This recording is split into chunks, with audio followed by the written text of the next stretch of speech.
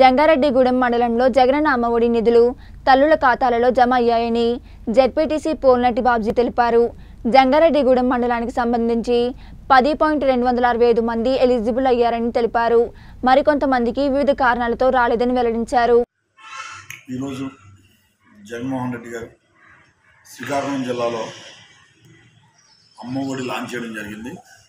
మన అప్లాన్ ప్రాంతంలో జంగారెడ్డి మండలంలో జంగారెడ్డి జిల్లా పరిషత్ ఉన్నత పాఠశాలలో మండల స్థాయి ప్రజాప్రతినిధులు అదేవిధంగా మున్సిపల్ స్థాయి ప్రజాప్రతినిధులు అందరూ సమక్షంలో ఇక్కడ లాంచ్ చేయడం జరిగింది. ముఖ్యంగా జగన్మోహన్ రెడ్డి గారు ఇచ్చిన పథకాల్లో మన జంగారెడ్డిగూడెం మండల పట్టణ పరిధిలో పంతొమ్మిది సచివాలయాల్లోనూ ఒక కోటి నలభై మూడు లక్షల రూపాయలు లబ్ధి వచ్చింది. అది ఎలిజిబిలిటీ ఎంతమంది అంటే పదివేల రెండు వందల ఇరవై రెండు మంది వచ్చారు. ఇంకా పద్దెనిమిది వందల ఎనభై తొమ్మిది మందికి వివిధ కారణాల వల్ల ఆగినాయి అవి రెక్టిఫై చేసే ప్రొవిజన్ ఉంది. ఎందువల్లంటే పొరపాటు ఇన్కమ్ ట్యాక్స్ రిటర్న్స్ తీసుకున్న వాళ్ళు కానీ కారు ఉన్న వాళ్ళు వ్యక్తులు కానీ అలా కొన్ని హౌసింగ్ ఇలాగా వేరు వేరు కారణాల వల్ల అవి కూడా మ్యాక్సిమం రెక్టిఫై చేస్తున్నారు. మన విద్యాశాఖ అధికారులు హెడ్ మాస్టర్స్ అందరూ కలిపి. వాళ్ళకు కూడా లబ్ధి పొందే పరిస్థితి ఉంది.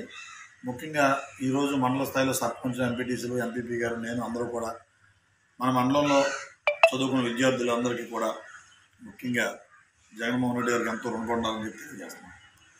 ఎందువల్లంటే విద్య ఒక కుటుంబంలో సమూలమైన మార్పులు రావాలన్నా ఒక ఒక కుటుంబం ఆర్థికంగా వెలుగులోకి రావాలన్నా ఒక ప్రాంతం సామాజికంగా అభివృద్ధి చెందాలన్నా ఒక వ్యక్తి వ్యక్తిగతంగా తన మానసిక పరిపక్వత పెంచుకోవాలన్నా విద్య అవసరం.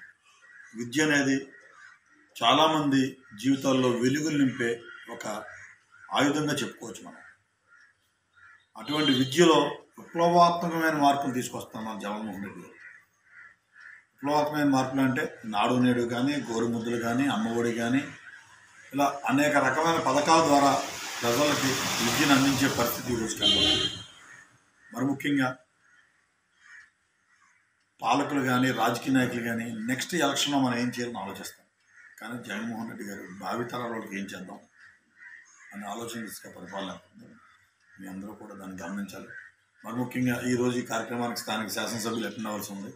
చంద్రపూర్లో ఉండడం వల్ల మా ప్రజాప్రతినిధులందరినీ కలిపి మున్సిపల్ చైర్మన్ గారిని ఎంపీపీ గారిని నన్ను అందరినీ చేయమని చెప్పడం జరిగింది. దానిలో భాగంగా మండల శాఖ మండల విద్యాశాఖ అధికారులు ఈ కార్యక్రమానికి వచ్చారు చక్కగా చేపట్టినందుకు ప్రత్యేకంగా విద్యాశాఖ వారికి మాస్టర్స్ అందరికీ ప్రత్యేకంగా ధన్యవాదాలు తెలియజేస్తే సెలవు